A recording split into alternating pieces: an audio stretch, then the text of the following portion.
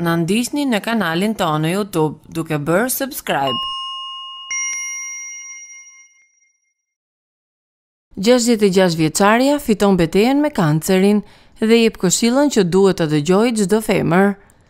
Si një fituese e 18 herë Grand Slam, Martina Navratilova njihet si një sportiste shumë e mirë dhe fituese e shumë çmimeve në sportin e tenisit.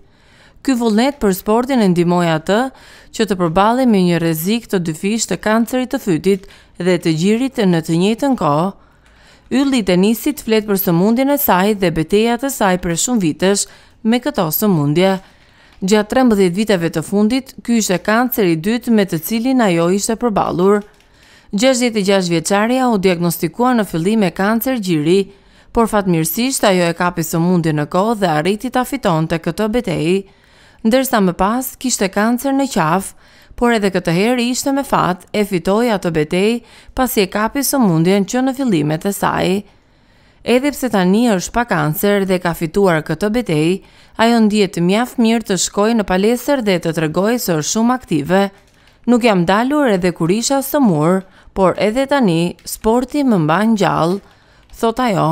Po e bëj këtë histori publike për t'i nxitur gratë dhe të gjitha vajzat që të vazhdojnë me ekzaminimet e rregullta të kancerit të gjirit.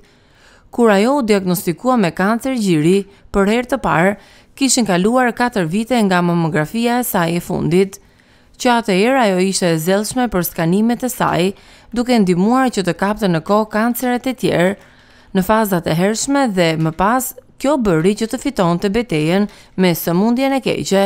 Ajo gjithashtu rekomandoi që gratë të mësojnë dhe t'i nënshtrohen ekzaminimeve të duhura, shtesë apo jo, nëse vërejnë diçka ndryshe në trupin e tyre. Sa më shpejt ta kapësh sëmundjen, aq më shumë shpresë do të ketë për të. Transmeton Shiko Pik News. Për më shumë, klikoni në videot tona të reja.